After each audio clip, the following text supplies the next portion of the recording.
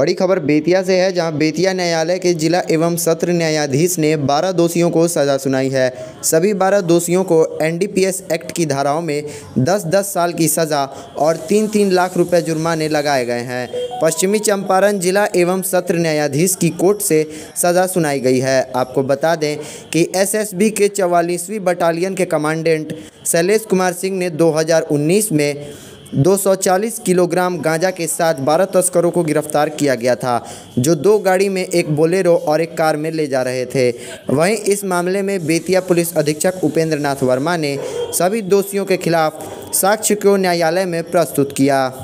देखिए, इसमें जो है S S B forty four B N के, सहायक सेनानायक शैलेश कुमार सिंह के द्वारा जो है 2019 में जो है, बारह तस्करों को जो है, दो गाड़ियों के साथ, महिंद्रा बोलोरो और मारुति अल्टो के साथ। 240 किलो गांजा रिकवर की गई थी, जिसमें जो है इसकी अग्रिम कार्रवाई के लिए एनसीबी पटना को सौंपा गया था। बेतिया एसपी महोदय के द्वारा जो है, सभी साक्षियों का साक्ष्य न्यायालय में कराने में सहयोग किया गया था और आज जो है, जिला सत्य न्यायाधीश बेतिया के द्वारा सभी अभियुक्तों को दोषी पाते हुए एनडीपीएस एक्ट की धारा 20 बी टू सी, तेईस सी और 29 में जो है दस दस बरस और तीन तीन लाख रुपए का जुर्माना किया गया